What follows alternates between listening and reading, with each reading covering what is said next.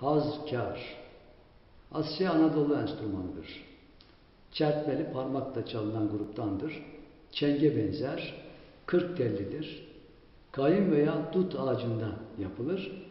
Özellikle İlhanlı Çağatay zamanında kullanılmış bir müzik aletidir.